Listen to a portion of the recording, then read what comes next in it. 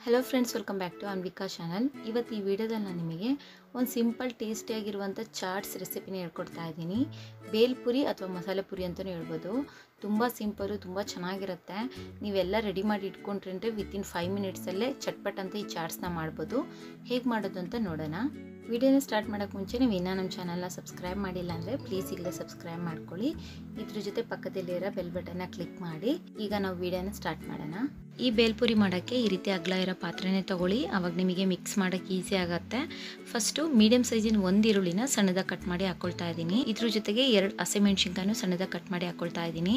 ನಿಮಗೆ ಹಸಿಮೆಣ್ಸಿನ್ಕಾಯಿ ಬೇಡ ಅಂದರೆ ಸ್ಕಿಪ್ ಮಾಡ್ಬೋದು. ಇದ್ರ ಬದಲು ನೀವು ಗ್ರೀನ್ ಚಟ್ನಿನ ಹಾಕೊಳ್ಬೋದು. ಗ್ರೀನ್ ಚಟ್ನಿ ರೆಸಿಪಿನ ನಾನು ಆಲ್ರೆಡಿ ಅಪ್ಲೋಡ್ ಮಾಡಿದ್ದೆ. ಅದ್ರ ವೀಡಿಯೋದ ಲಿಂಕು ಡಿಸ್ಕ್ರಿಪ್ಷನ್ ಬಾಕ್ಸಲ್ಲಿದೆ, ನೀವು ನೋಡ್ಕೋಬೋದು. ನೆಕ್ಸ್ಟು ಸಣ್ಣದ ಕಟ್ ಮಾಡಿ ಇಟ್ಟಿರುವಂಥ ಸೌತೆಕಾಯಿ. ಕಟ್ ಮಾಡಿ ಇಟ್ಟಿರುವಂಥ ಒಂದು ಸ್ವೀಟ್ ಹಣ್ಣಾಗಿರೋ ಟೊಮೊಟೊನ ಹಾಕೊಳ್ತಾ ಇದ್ದೀನಿ. ನಿಮಗೆ ಇಷ್ಟ ಆಗಿರೋ ತರಕಾರಿನ ಹೆಚ್ಚು ಕಡಿಮೆ ಹಾಕ್ಕೊಳ್ಬೋದು ನೆಕ್ಸ್ಟ್ ಒಂದು ಅರ್ಧ ಟೇಬಲ್ ಸ್ಪೂನ್ ಅಷ್ಟು ಸ್ವೀಟ್ ಚಟ್ನಿ ಹಾಕೊಳ್ತಾ ಇದ್ದೀನಿ. ಈ ಸ್ವೀಟ್ ಚಟ್ನಿ ತುಂಬ ಚೆನ್ನಾಗಿರುತ್ತೆ ಈ ಬೇಲ್ಪುರಿಯಲ್ಲಿ. ಇದ್ರ ಲಿಂಕು ಡಿಸ್ಕ್ರಿಪ್ಷನ್ ಬಾಕ್ಸಲ್ಲಿದೆ ನೀವು ನೋಡ್ಕೊಳ್ಳಿ. ಎಲ್ಲ ಖರ್ಜೂರ ಹುಣ್ಸೆಣ್ಣಿನ ರಸ, ಮತ್ತು ಕೆಲವು ಸ್ಪೈಸಸ್ಗಳನ್ನ ಹಾಕಿ ಮಾಡಿರೋದು. ತುಂಬ ಚೆನ್ನಾಗಿರುತ್ತೆ. ಒಂದು ಟೀ ಸ್ಪೂನಷ್ಟು ಖಾರದ ಪುಡಿ ಹಾಕ್ಕೊಳ್ತಾ ಇದ್ದೀನಿ. ನಾನು ಹಸಿಮೆಣ್ಸಿನ್ಕಾಯನ್ನ ಯೂಸ್ ಮಾಡ್ತಿರೋದ್ರಿಂದ ಒಂದೇ ಟೀ ಸ್ಪೂನ್ ಹಾಕ್ಕೊಳ್ತಾ ಇದ್ದೀನಿ.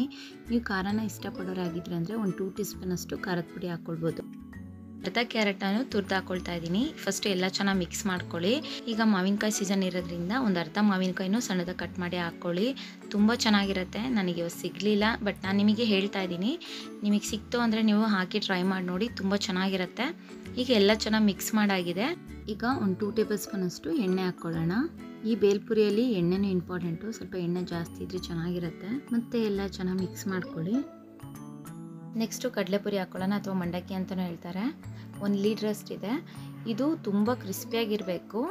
ನಾನು ಇದನ್ನ ಕ್ಲೀನ್ ಮಾಡಿ ಈ ರೀತಿ ಕವರಲ್ಲಿ ಹಾಕಿಟ್ಕೊಂಡಿದ್ದೀನಿ. ಅವಾಗ ಕ್ರಿಸ್ಪಿಯಾಗಿ ಹಾಗೆ ಇರುತ್ತೆ. ನೆಕ್ಸ್ಟ್ ಒಂದು ಅರ್ಧ ಕಪ್ಪಷ್ಟು ಶೇಂಗಾನ ಎಣ್ಣೆಲಿ ಹುರಿದೆ ಹಾಕ್ಕೊಂಡಿದ್ದೀನಿ ಮತ್ತು ಒಂದು ಅರ್ಧ ಕಪ್ಪಷ್ಟು ಶೇವ್ ಹಾಕ್ಕೊಳ್ತಾ ಇದ್ದೀನಿ. ಸಣ್ಣದಾಗಿ ಕಟ್ ಮಾಡಿಟ್ಟಿರುವಂಥ ಕೊತ್ತಂಬರಿ ಸೊಪ್ಪನ್ನ ಹಾಕ್ಕೊಳ್ಳೋಣ ಜೊತೆಗೆ ಒಂದು ಟೀ ಸ್ಪೂನಷ್ಟು ಚಾಟ್ ಮಸಾಲ ಹಾಕ್ಕೊಳ್ತಾ ಇದ್ದೀನಿ. ಈ ಬೇಲ್ಪುರಿಯಲ್ಲಿ ಚಾಟ್ ಮಸಾಲ ಹಾಕೋದ್ರಿಂದ ಟೇಸ್ಟ್ ತುಂಬ ಚೆನ್ನಾಗಿರುತ್ತೆ. ರುಚಿಗೆ ತಕ್ಕಷ್ಟು ಉಪ್ಪು. ಚಾಟ್ ಮಸಾಲದಲ್ಲೂ ಉಪ್ಪಿನ ಅಂಶ ಇರುತ್ತೆ ಸೊ ಉಪ್ಪನ್ನ ನೋಡಿ ಹಾಕೊಳ್ಳಿ. ಈಗ ಎಲ್ಲ ಚೆನ್ನಾಗಿ ಮಿಕ್ಸ್ ಮಾಡ್ಕೊಳ್ಳಿ.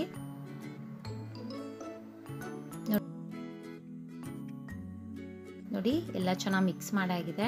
ಉಪ್ಪು, ಖಾರ ಎಲ್ಲ ಚೆಕ್ ಮಾಡ್ಕೊಳ್ಳಿ ಕರೆಕ್ಟ್ ಆಗಿದೆ. ಈಗ ಒಂದು ಅರ್ಧ ಹೋಳಷ್ಟು ನಿಂಬೆಹಣ್ಣಿನ ರಸನ ಹಾಕಿ ಚೆನ್ನಾಗಿ ಮಿಕ್ಸ್ ಮಾಡ್ಕೊಳ್ಳೋಣ.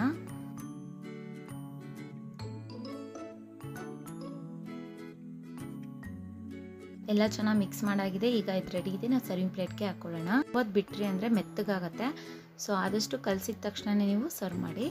ನೋಡಿದ್ರಲ್ಲ ಫ್ರೆಂಡ್ಸ್ ಎಷ್ಟು ಕ್ವಿಕ್ಕಾಗಿ ತುಂಬ ಸಿಂಪಲಾಗಿ ಚಾಟ್ಸ್ ಮಾಡೋದು ಅಂತ.